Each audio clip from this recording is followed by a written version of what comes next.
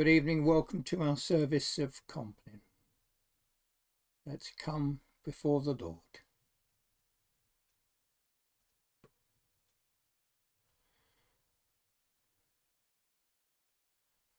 The Lord Almighty grant us a quiet night and a perfect end. Amen. Our help is in the name of the Lord, who made heaven and earth. So a moment of reflection on the day now past. And we pray together. Most merciful God, we confess to you before the whole company of heaven and one another that we have sinned in thought, word, and deed, and in what we have failed to do. Forgive us our sins, heal us by your Spirit and raise us to new life in Christ. Amen. O God, make speed to save us. O Lord, make haste to help us. Glory to the Father, and to the Son, and to the Holy Spirit, as it was in the beginning, is now, and shall be for ever. Amen.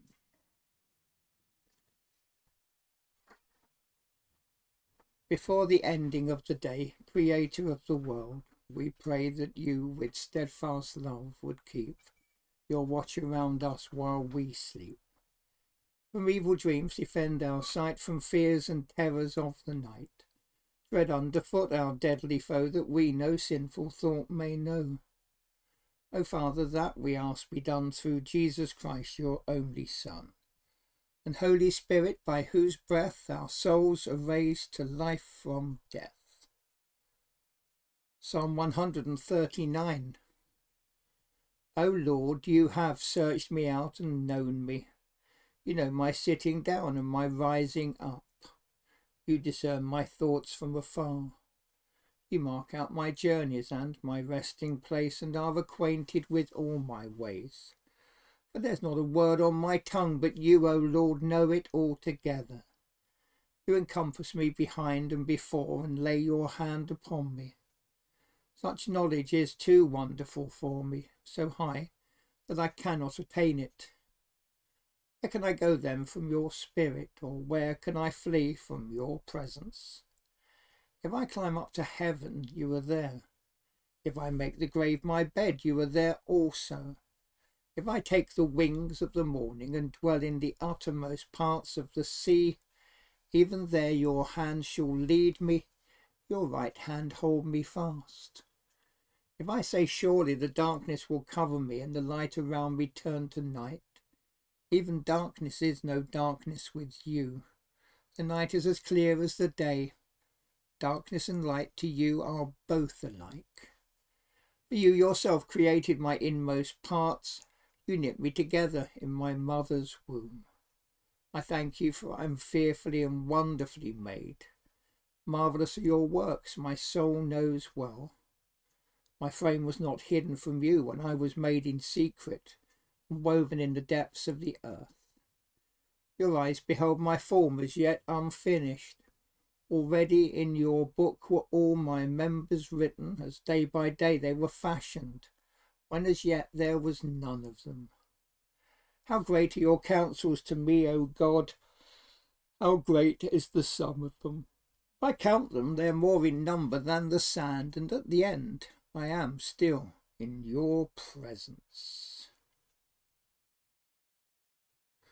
Glory to the Father, and to the Son, and to the Holy Spirit, as it was in the beginning, is now, and shall be for ever.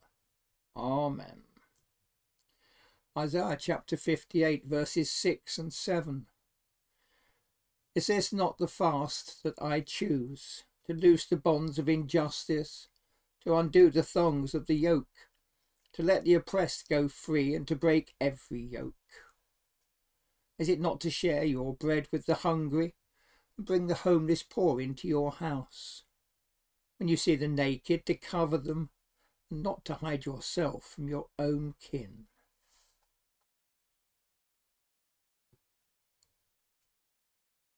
Into your hands, O Lord, I commend my spirit. Into your hands, O Lord, I commend my spirit. For you have redeemed me, Lord God of truth.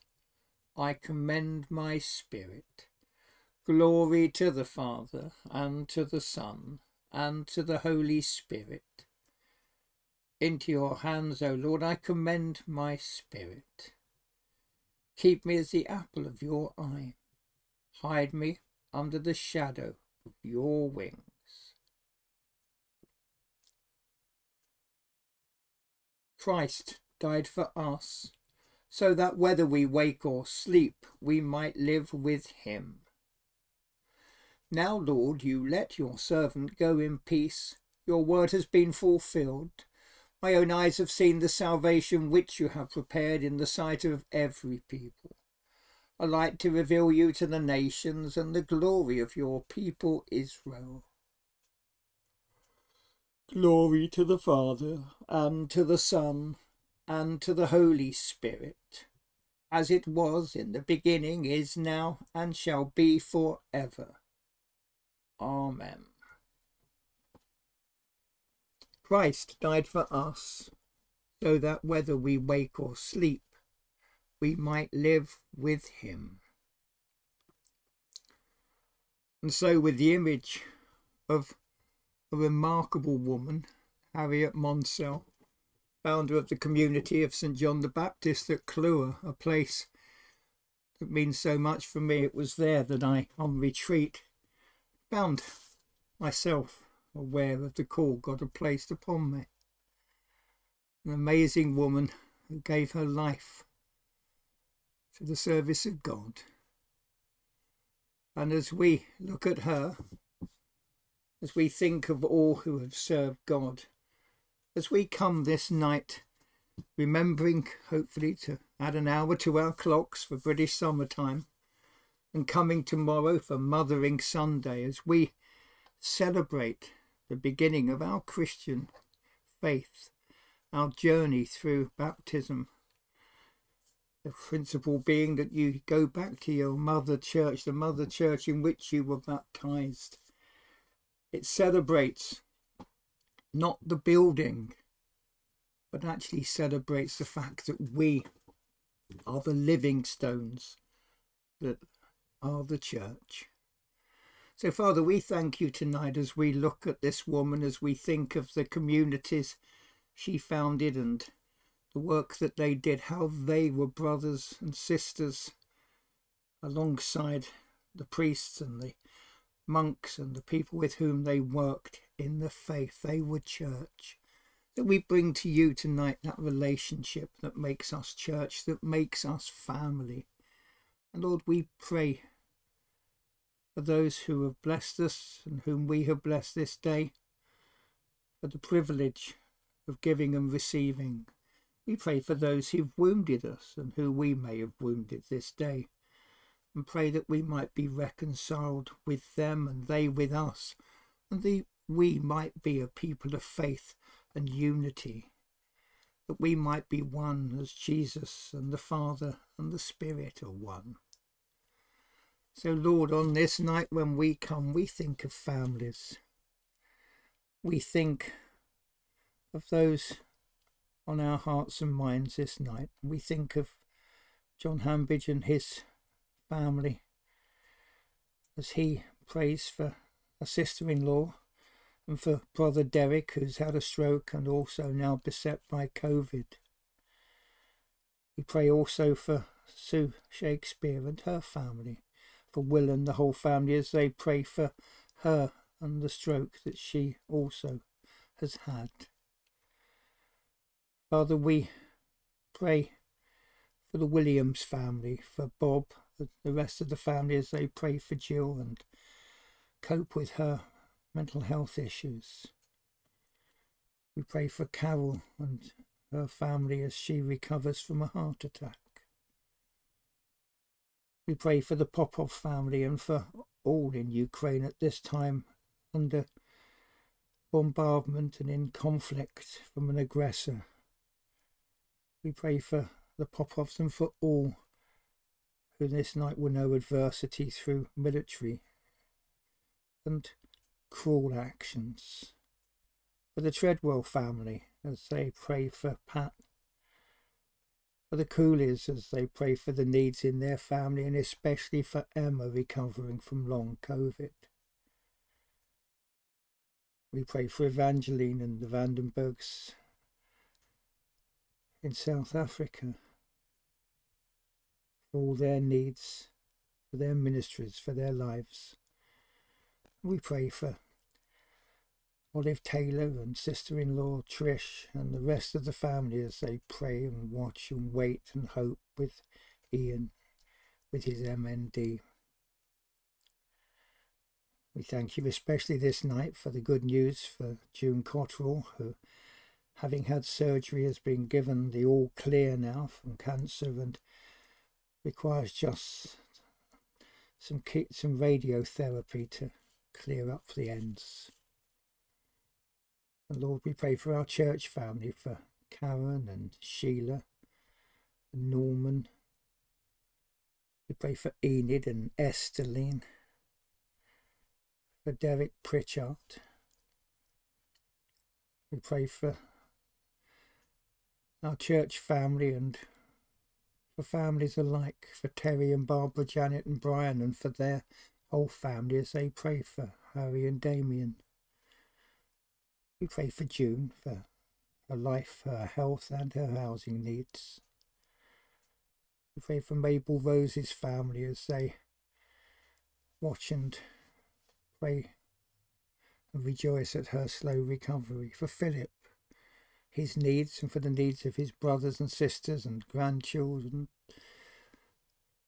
the nieces and nephews, for all the needs within the Hope clan near and far, for Leah and Kev, and for their children and their partners, for Effie and for Gabriella and all that is happening in them.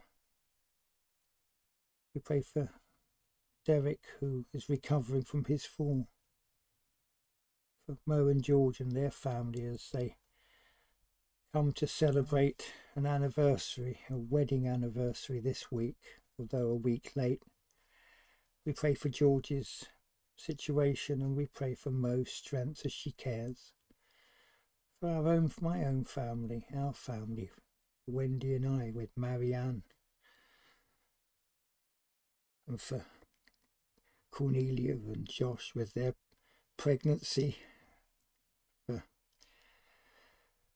Harrison with Marianne and at university, Gabriella and Rob, for Toby, for Amy, for Sue and Roger, Graham and Gillian, Margaret and John, for Tracy, Chris, and Kath, for the Mitchell family and their needs. Lord, we pray for Gillian, Luke, and Simon, and for the Eden family and all that is happening in their lives, for their witness, for Josh's health needs, and for all that they do in ministry and life.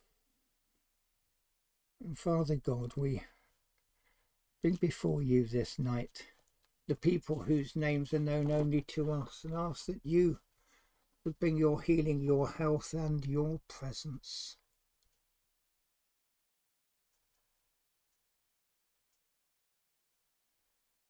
And as we go to our beds, Lord, we pray.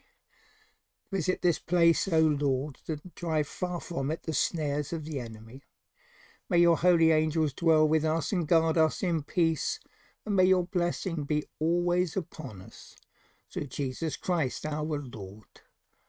Amen. With the words our Saviour gave us, we pray, Our Father in heaven, hallowed be your name. Your kingdom come, your will be done, on earth as in heaven. Give us today our daily bread. Forgive us our sins, as we forgive those who sin against us Lead us not into temptation, but deliver us from evil. For the kingdom, the power, and the glory are yours now and for ever. Amen. In peace we will lie down and sleep, for you alone, Lord, make us dwell in safety. Abide with us, Lord Jesus, for the night is at hand and the day is now past. As the night watch looks for the morning, so do we look for you, O Christ. So come with the dawning of the day, and make yourself known in the breaking of the bread. May God bless us, that in us may be found love and humility, obedience and thanksgiving, discipline, gentleness and peace. Amen. So thank you for being with us tonight. Stay safe, sleep well. Don't forget, at that hour to the clock, and tomorrow, Mothering Sunday, we celebrate all that church is, the living stones that we are, our journeying, our faith, our unity. Sleep well, be safe. Bless you guys. Good night.